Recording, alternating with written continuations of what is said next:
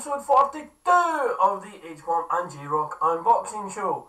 I'm Henry H-Bomb Higgins. And I'm Josh J. Rock Higgins. And today, as promised, we are looking at the nano metal figs that we got just impulse buying, which we've spoke about in previous videos, uh, when we were in Asda uh, last weekend, last Saturday.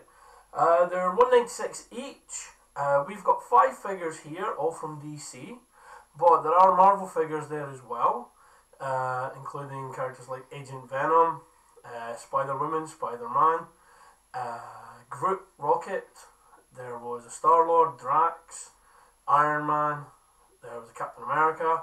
Uh, there was also Cyborg. Um, but we've got five figures today, and we're going to run through them one at a time. And if you can see from the inset, we're going to run through them from left to right. So do you want to pass the first one over, please, Josh? Yeah. And who is it? First guy is Superman. Yeah, and it looks like it's comic book Superman rather than Justice League.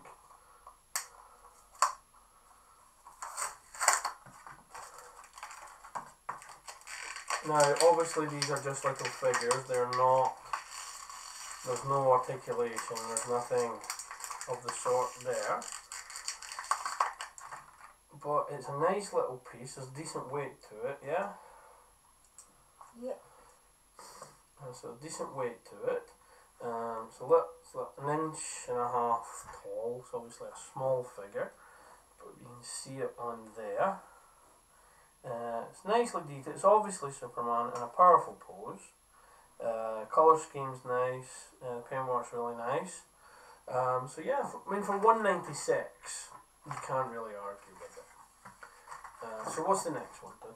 The next one is the Joker from Suicide Squad.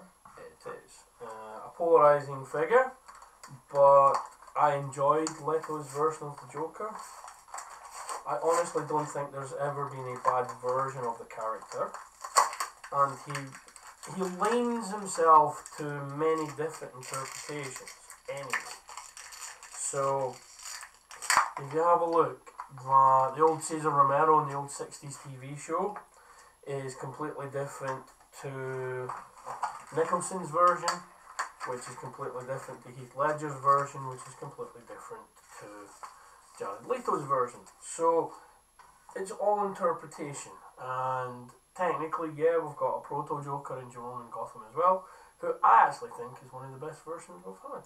And again, this is nice, nice bit of weight to it.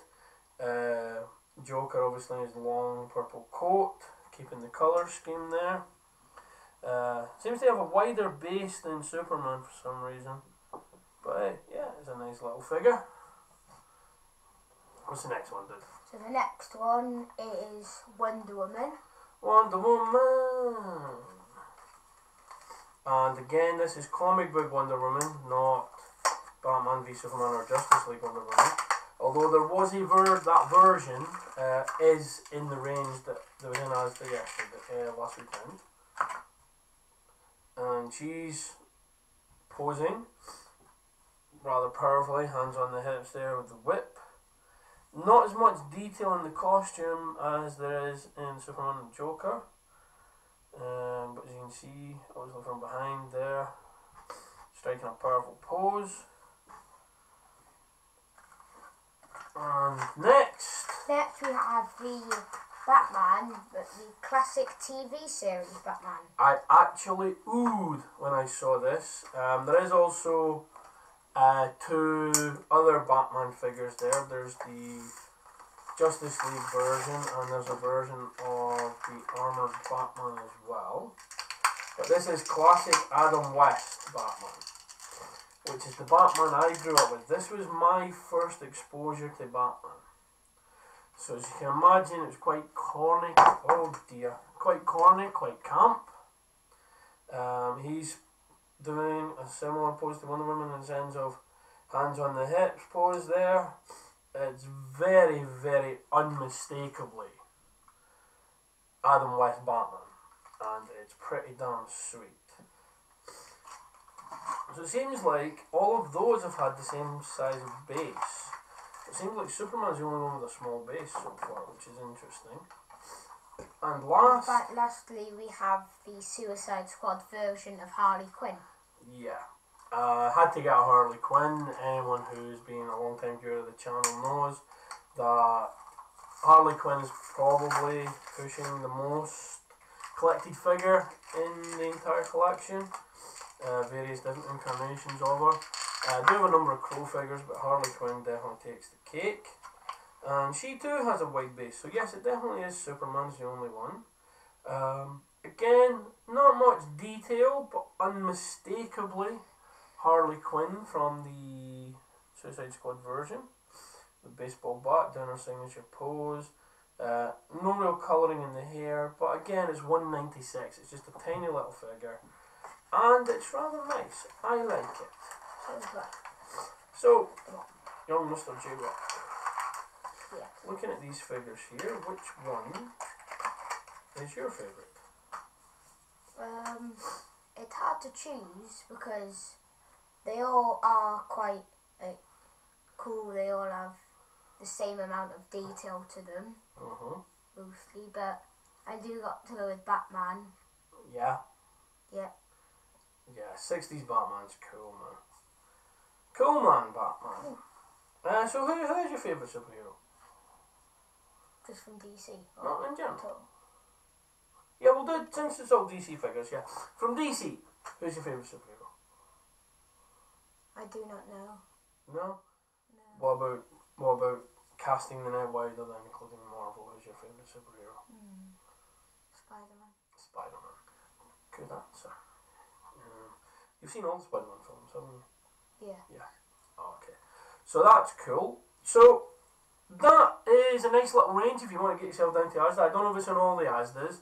Uh, the Asda that we went to was in Bangor. It's a, it's a larger store, isn't it? It's one of the larger Asdas.